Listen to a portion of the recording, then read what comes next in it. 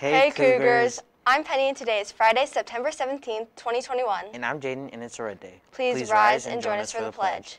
I pledge allegiance to the flag of the United States of America and to the republic for which it stands, one nation, under God, indivisible, with liberty and justice for all.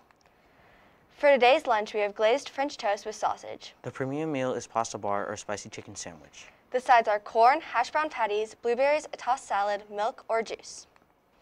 For Monday's lunch, we have barbecue beef sandwich with fries. The premium meal is pepperoni or cheese pizza. The sides are caprese salad, roasted Brussels sprouts, peaches, a tossed salad, milk, and juice. You know what time it is. It's joke time.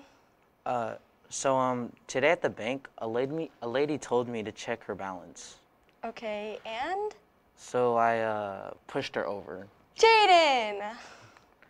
Anyways, listen up, Cougars. Make sure you are grabbing your copy of the new 2021-2022 yearbook. They are on sale for $25 for our back to school special until next Friday, September 24th. After that, the price goes up. Yearbooks can be purchased through www.jostens.com. Yearbooks are such a great way to keep all those good memories. This is sure to be another year to remember, so make sure you are grabbing yours now. Have you ever wanted to get help out other students here at Congress? Are you good at meeting new people and making them feel like they belong? If so, then you should totally become a student ambassador. Student ambassador applications are available to be picked up outside the front office next to the nurse's office. Student ambassadors are a group of students who represent Congress to new students here at Congress Middle School. The main responsibilities of the ambassadors are to show new students around the school and help them find their classes, and to be friendly faces as the students acclimate to Congress. All events and meetings take place during the school day. All grade levels can apply. Please fill out the application and turn it back to the on front office on Wednesday, September 9th, um, September 2020, September 22nd, 2021. Each month we focus on a new character that we should all try to practice and model and hopefully make a habit in our daily lives. Oh yeah, can you remind me what the character word for September is? Our character word for September is responsibility, and it means taking ownership in what you say and do. Oh yeah, you can use this character word not only at school but at home too. This shows through turning in homework and on time and completing all your chores at home. Do you love to sing and hang out with your friends who also love to make awesome music? If so, then you should definitely come audition for Honor Choir. Honor Choir is open to any 6th, 7th, or 8th grade students. If you're interested, come pick up a form outside of room 501. Auditions, auditions will be held after school on September 23rd. There will be an intramural bus if you need a ride home. If you have any questions, come see Mrs. Sipes in room 501. It has been such a great start to the week in volleyball. Our Lady Cougars are 2 and 0 to start the season. Monday, both teams defeated Discovery Middle School on our home court. B team 25 to 16, 25 to 6, and A team 25 to 8, 25 to 18. On Wednesday, both teams brought home wins against Liberty Middle School at home. B team 25 to 8, 25 to 4, and A team 25 to 16 and 25 to 10. The girls looked great on the court, and the court and the gym was full of energy. Elise Bolyard shined with her amazing digs and six ace serves. Parker Kimball rocked the house with three kills and five aces. Isla R and Brinley Johnson both with five aces. The girls worked well together, and their positive energy was contagious. Maddie Stevenson brought down the house with nine kills and three aces. Lainey McCabe had four kills and three aces. Kennedy, Kennedy Altick had three kills, and Maya O'Hara had four aces. The girls looked great and really displayed their teamwork and ability. Coach Ritzky and Coach Kinchlow are very proud of the girls and looking forward to the next game next week against Antioch, which is away on Monday, and Delta Woods here at home on Wednesday. Come out and support our Your Lady Cougars. Hey 7th and 8th graders, don't forget, if you're interested in joining our amazing, amazing CGTV crew, make sure you are filling out and submitting your application and audition video to Mrs. Vetch before next Friday, September 24th. This is for 7th and 8th graders only. 6th graders will have the opportunity to join our team after first quarter. Listen up, Cougars, it's time to get excited. On Friday, September 24th, we will be having our first modified assembly. To get pumped up, Student Council is hosting a, a Spirit Week all next week.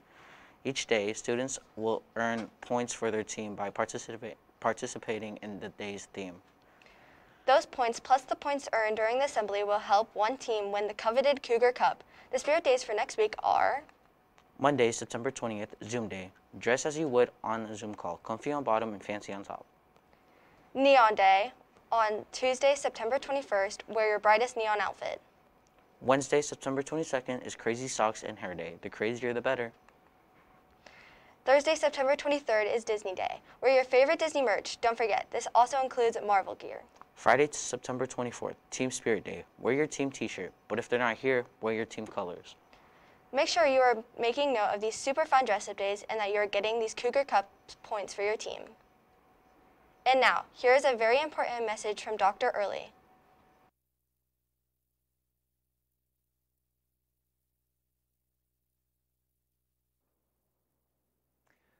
Good morning, Congress. I know it's Friday, and I wish I was here with a happier, more upbeat Friday style announcement, but unfortunately, I'm not. Been forced into a situation where I feel compelled to come and talk to you a little bit about the Devious Licks TikTok challenge. And I think you guys need to know what's on the line here. I need to be as honest with you as possible. I've already had to suspend people out, and I will be visiting with more people today. I hope you're not on that list. Um, please understand, and I really need you to listen that any sort of theft from school, even for something minor, can result in being suspended out of school, which can also result in being suspended from, from sports teams and a variety of other things. I think probably the most important thing to understand is that can result in legal consequences. Is this worth being arrested for? Is this worth having to go before a judge, being put on probation?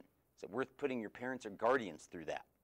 Um, also understand that I know a lot of this seems to be targeted at restrooms. Um, the layout of our building makes that very easy for us to monitor. Our custodians check our restrooms every hour on the hour, and while there are obviously not cameras in restrooms, there are cameras outside restrooms, and it's very easy for us if a custodian goes in at noon, then goes back in at 1 and notices something out of place, uh, it's very easy for us to monitor the cameras and, and to see who has been in there and to figure out and whittle it down to, uh, unfortunately, our list of suspects. We have done that before. We have caught people doing things before uh, with that method, and we will catch people who are vandalizing and stealing from our restrooms uh, during this unfortunate trend.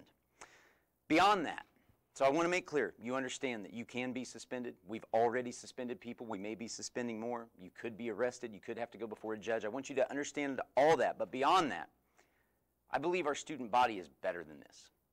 I am very competitive. And you can ask your teachers about that because I think every time we have a staff meeting in some way, shape, or form, I compare our school to other schools. In all my years of education, and yes, I'm old, so I've been in education for a long time.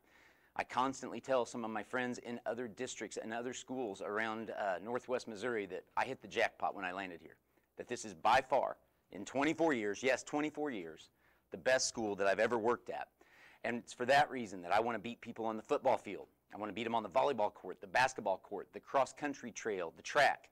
I want to beat them in the classroom. I want better grades. I want better test scores. I want all of that for our student body. And of course, I also want the best possible behavior. Our students largely determine the environment here. And are you going to let other schools be better than us? Again, this is sometimes it's us versus them. That's the way I see it. And when we behave in this way and we when we lower ourselves in this way, we are losing that competition.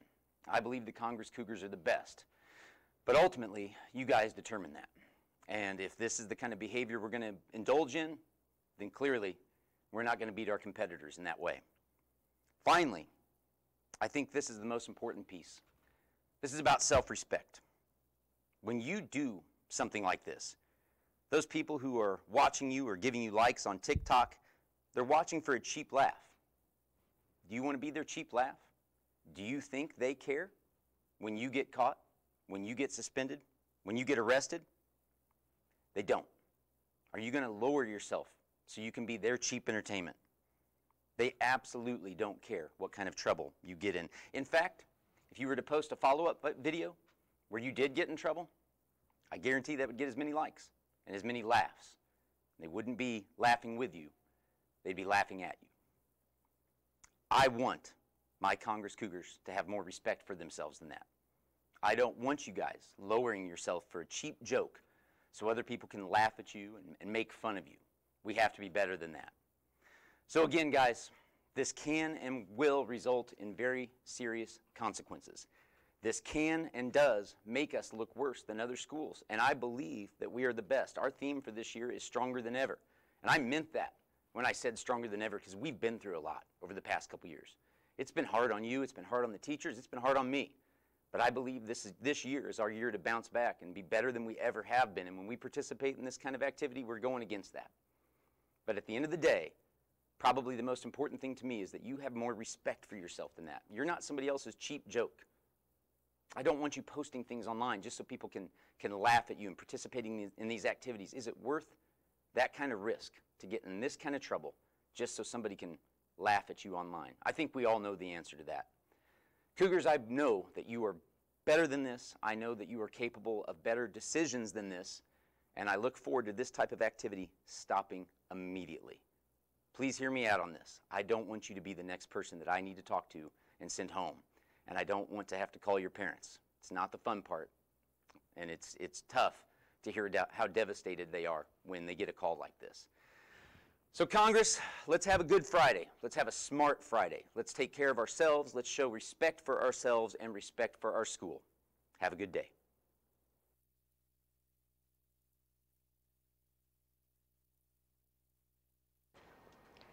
Well, that's it for today. I'm Penny and today is Friday, September 17th, 2021. And I'm Jaden and it's Red Day. Go, Go Chiefs. Peace, Peace out. out.